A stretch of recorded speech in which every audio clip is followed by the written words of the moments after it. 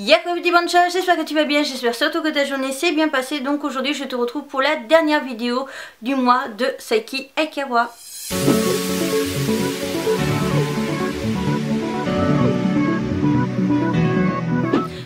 En ce qui concerne le titre, je te le mets bien entendu au-dessus car c'est de l'anglais et je suis une bille en anglais. Nous sommes donc sur un manga des éditions Soleil avec le mangaka Seki Akawa. Nous sommes sur un manga qui est en deux tomes dans le genre romance étrange vie. L'œuvre de 2012 au Japon et de juillet 2013 en France pour son premier tome. Et nous sommes sur un manga qui est H. 12 ans et plus. Avant de commencer à te parler de mon avis sur la qualité du dessin, je vais tout simplement t'inviter à aller dérouler la barre d'infos. Si tu n'as pas encore vu les précédentes vidéos sur la mangaka Seiki Ekewa que j'ai pu faire sur la chaîne, je t'invite tout simplement à aller voir dans la barre d'infos. Tu auras le lien de toutes les précédentes vidéos que j'ai pu faire, toutes les présentations, à savoir, parce qu'on me pose souvent la question, cette série là qui est un one shot de, de Saiki où ça regroupe en fait plusieurs histoires courtes ne m'intéresse absolument pas. Et en ce qui concerne du coup cette série là qui est actuellement en cours en France, à savoir, et même au Japon, à savoir que forcément la série je la lirai qu'une fois que la série sera annoncée terminée au Japon et qu'elle sera sur le point de se terminer en France. C'est toujours comme ça que je fonctionne. En ce qui concerne du coup mon avis sur la qualité du dessin, dois-je vraiment passer par cette case? Je te dirais tout simplement qu'on est sur un méga coup de cœur, mais je pense que ça fait 4 semaines que je te fais chier avec ça, à te dire tout simplement que c'est un méga coup de cœur pour la qualité du dessin de Saki Akawa.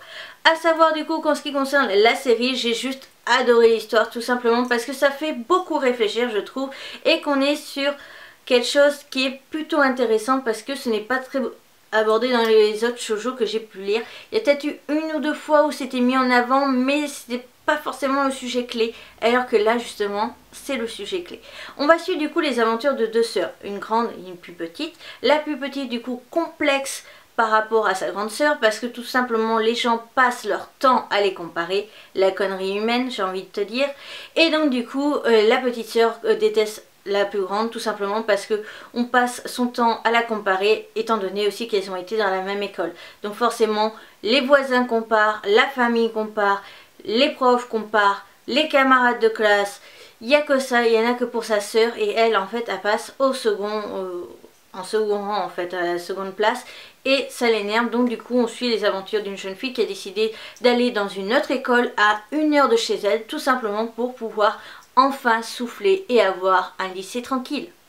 Sauf que malheureusement tout ne se passe pas comme il faudrait et donc du coup c'est ça que j'ai adoré l'histoire parce que en fait on va nous mettre en avant et le point de vue de la petite sœur, mais on nous développe aussi le point de vue de la grande sœur. On nous montre justement ce qu'elle ressent, ce qu'elle pense de tout ça la vision des choses, en fait, comment elle vit tout ça, cette euh, haine que peut avoir cette petite sœur envers elle, alors qu'au final, elle n'a rien fait. Et donc du coup, j'ai adoré l'histoire et en plus, je ne te dis pas plus, mais il y a quelques petites surprises dans le tome 2 qui est plutôt intéressant et je trouve ça plutôt sympa qu'on ait abordé ce sujet. Je n'en dis pas plus, je te laisse découvrir ça. En tout cas, à savoir que c'est une œuvre de Saki Akawa que je surkiffe. Donc du coup, en ce qui concerne ce manga de Saki Akawa, ça va être l'un de mes préférés avec Romantic Obsession. Et euh, je vais même te mettre dans la barre d'infos du coup mon classement au niveau de l'ordre de préférence par rapport à toutes les œuvres de Saiki Akawa, comme ça ça pourra t'aider. On termine avec mon avis sur les couvertures et je pense que si tu as vu les trois précédentes vidéos du mois du coup où je t'ai présenté des œuvres de Saiki Akawa, je pense que tu t'en doutes, mais les couvertures ont tout simplement été un méga coup de cœur. Mais ce que j'ai énormément adoré en fait, c'est le choix de l'illustration et l'idée aussi. Donc déjà je trouve que les illustrations sont super bien travaillées. Mais ce que j'ai adoré en fait c'est pour la jaquette 1.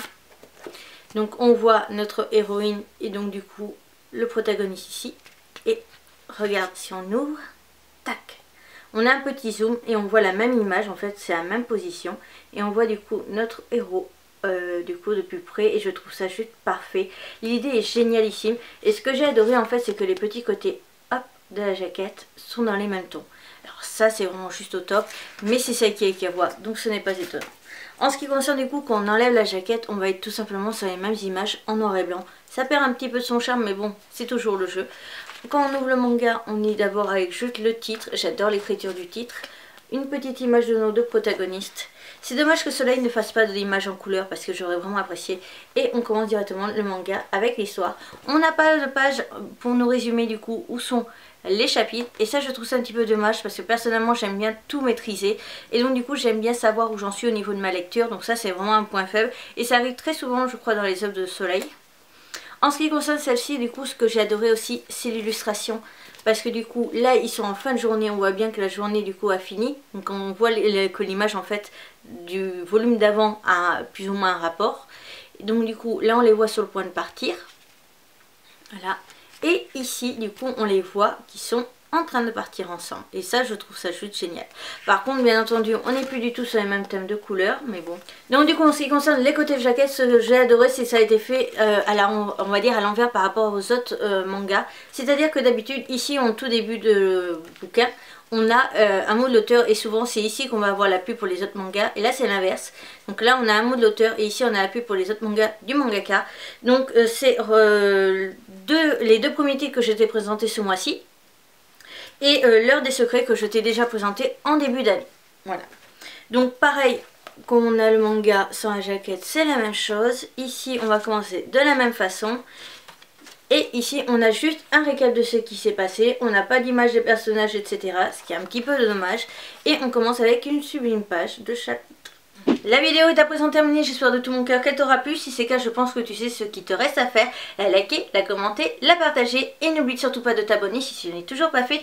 N'oublie pas du coup de me rejoindre sur les deux vidéos que je te mets en proposition et n'oublie pas d'aller voir dans la barre d'infos pour toute vidéo de Saki Akawa. Mets-moi en commentaire du coup euh, quelle est ton œuvre préférée de Saki Akawa, quelle est celle que tu aimes le moins. N'hésite pas du coup à me dire si tu connaissais ce manga ou pas du tout, si je t'ai donné envie de le découvrir ou absolument pas. Et n'oublie pas du coup si toi tu as lu cette œuvre de nous donner ton avis en commentaire. Sur ce je te retrouve bientôt pour une nouvelle vidéo. Et j'espère te retrouver du coup le plus vite possible pour une nouvelle œuvre de Saki Akawa. Sur ce, à bientôt